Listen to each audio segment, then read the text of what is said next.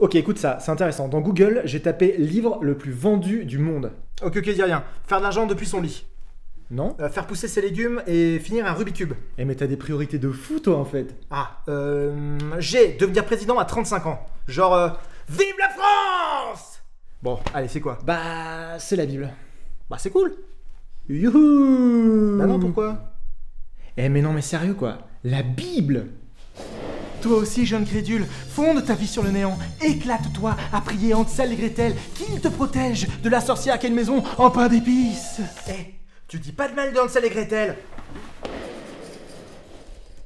4 milliards mec, c'est le plus gros best-seller jamais vendu ce livre en fait. 4 milliards de gens manipulés à ce point. Mais c'est hyper... euh, Ah. Non mais sérieux, il y a plein d'exemples hyper chelous dans l'histoire autour de ce livre. C'est vrai. Les champs de coton par exemple. Les mecs lisaient la Bible aux esclaves et ils justifiaient l'esclavage comme ça. Mais paradoxalement, le message de la Bible est devenu source d'espoir pour ces personnes opprimées. Ah mais d'où le gospel Et si la Bible n'avait été qu'un prétexte pour légitimiser des actions qu'on avait déjà vues maintes et maintes fois dans l'histoire? Guerre, manipulation, abus divers, y a pas besoin de la Bible pour faire ça. Ok, tu marques un point. Bon ok, la Bible c'est quoi en fait?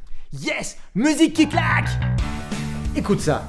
La Bible est le seul livre écrit sur plus de 2000 ans par plus de 20 auteurs complètement différents. La plupart ne se sont jamais rencontrés, mais l'histoire qu'ils développent est totalement cohérente. Ils avaient pourtant des métiers Super différent et vivaient dans des pays, des contextes et des époques Super différent Et le climax de ce scénario de fou, c'est l'histoire de la vie, la mort et la résurrection d'un homme qui était, écoute bien ça, La manifestation visible d'un Dieu invisible.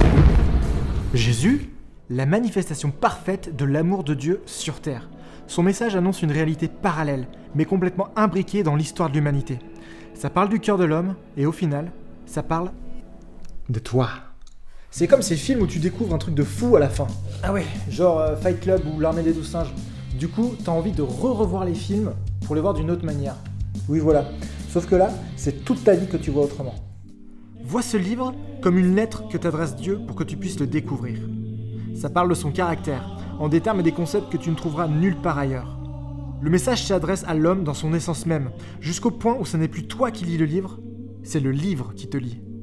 Ah, mais c'est pour ça que tu disais que le livre il parle de moi. En la lisant, tu ouvres les yeux sur une réalité qui t'était inconnue. Tu rencontres quelqu'un qui veut développer une relation avec toi, et la décrire avec des mots c'est presque impossible.